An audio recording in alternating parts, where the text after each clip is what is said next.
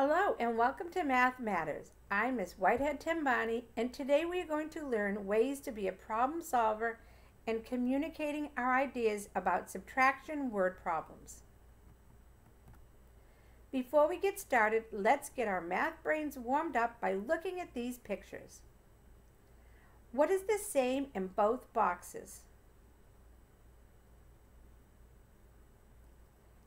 It is the same because both sides have bugs. It is the same because both sides have a red bug on top. Can you think of anything else that is the same?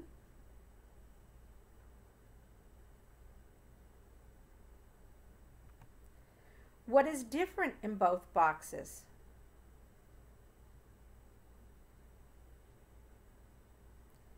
It is different because the first box has two bugs and the second box has three bugs.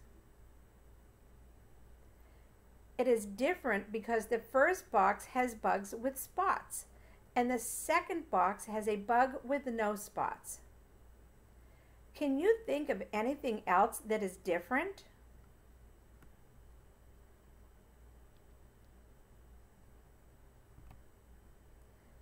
Our learning outcome for today is to model and solve story problems. You can work on your communicator skills by listening so you can understand. Think about how communicators write or model to share ideas when I have you work on the math problems later. Before we get started, I want you to get some paper, crayons, and 10 counters and then come back to me. I'll count to 100 by tens while you get your materials. 10, 20, 30, 40, 50, 60, 70, 80, 90, 100. 1, 2, 3, come back to me. Just put your materials next to you while you listen to me read the story problem. What do you notice about this picture? Maybe you notice the dog. Maybe you notice the little girl walking the dog.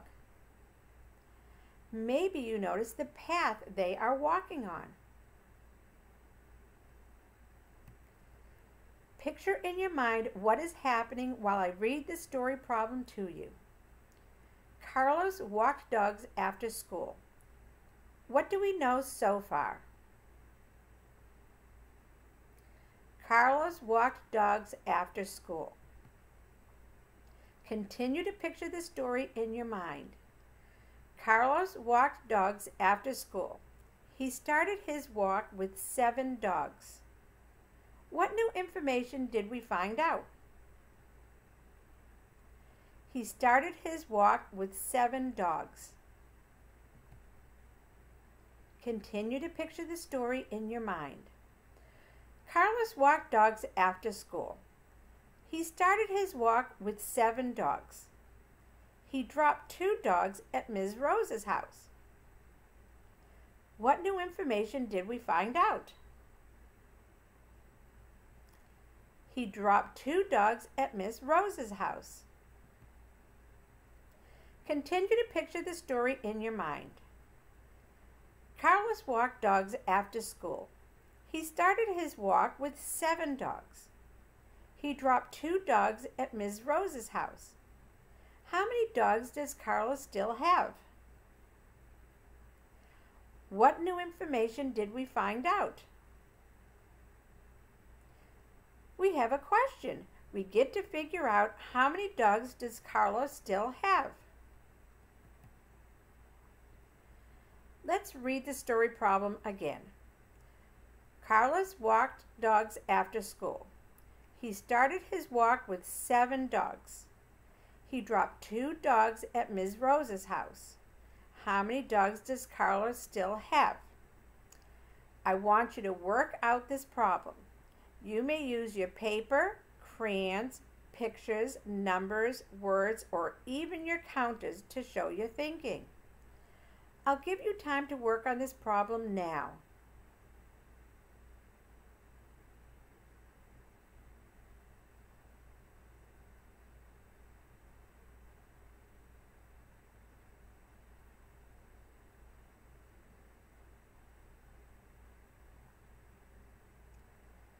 Show me what you did.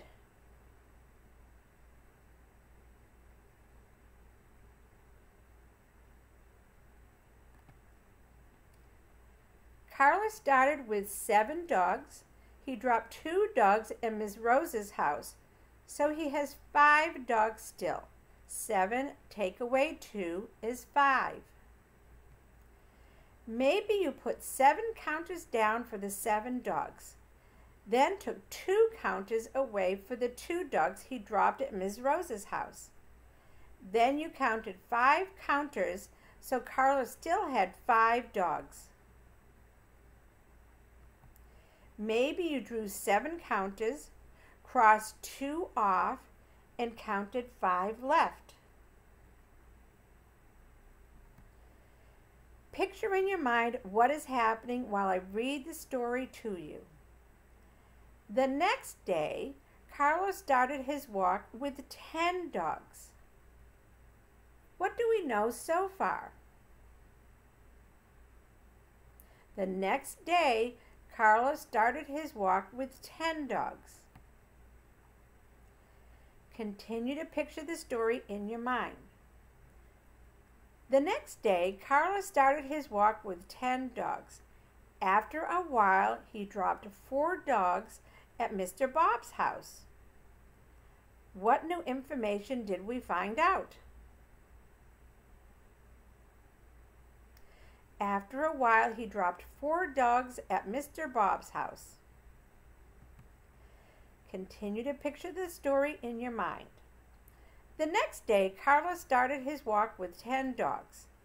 After a while, he dropped four dogs at Mr. Bob's house. How many dogs does Carlos still have? What new information did we find out? We have a question.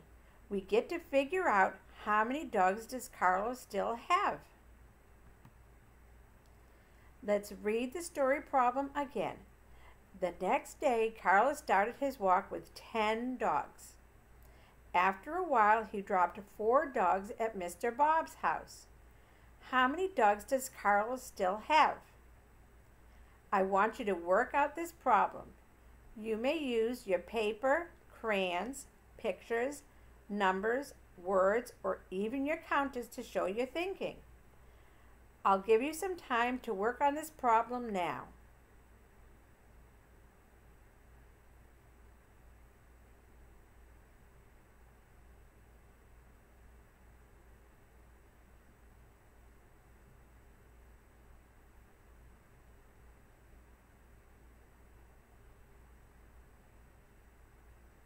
Show me what you did.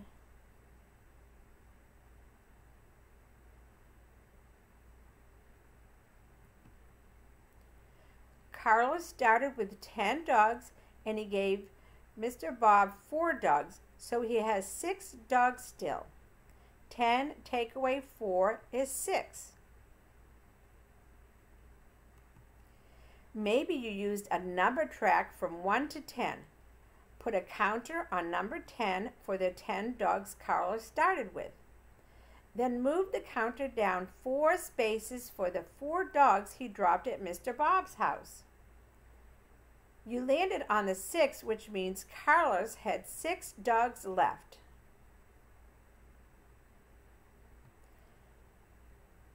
Maybe you held 10 fingers up for the 10 dogs. Then you put four fingers down for the four dogs he dropped at Mr. Bob's. That left you with six fingers up for the six dogs Carlos had left. There are so many ways to solve this problem. Let's reflect on our learning. Take a moment to think about yourself as a mathematician and communicator. Did you learn something new about modeling and solving story problems? Were you able to listen so you could understand? Did you write or make models to share your ideas? Mathematicians can communicate their ideas in many ways. In today's episode of Math Matters, we learned ways to be a problem solver and communicating our ideas.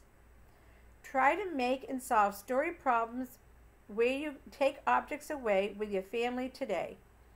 Make sure to communicate how you solve the problems. I'm Miss Whitehead Timbani. I hope you have a great day and keep on counting.